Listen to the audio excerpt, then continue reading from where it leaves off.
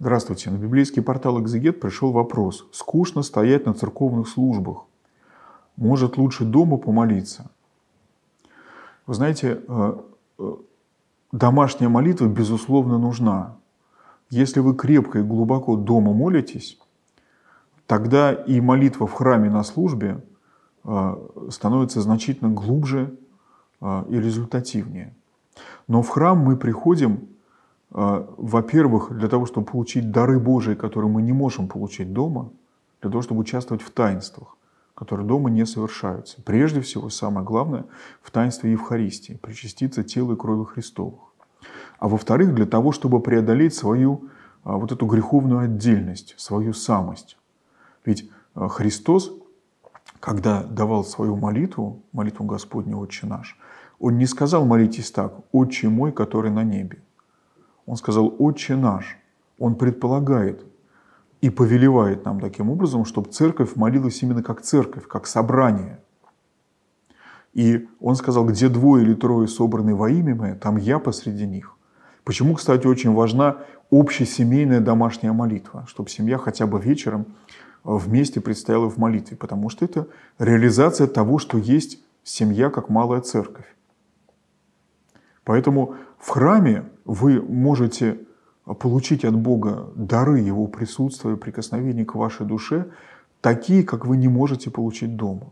И интересно, что а, если вы будете изучать э, жития и образ жизни а, людей, которые полностью посвятили себя Богу, монашествующих, то даже отшельники монашествующие – а, живущие в полном безмолвии отдельно где-то в пещере далеко от монастыря, они все равно всегда все собирались на всеночное воскресное бдение и участвовали, причащались святых христовых тайн на литургии.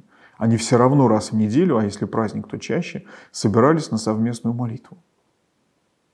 Молитва домашняя и молитва храмовая, еще можно сказать, это как, как два легких у человека. Они помогают друг другу и освещают э, друг друга.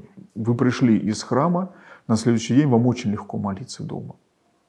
Вы пришли в храм, если накануне вечером вы хорошо помолились дома, э, внимание собирается значительно быстрее. Поэтому не надо противопоставлять эти молитвы, надо их соединить.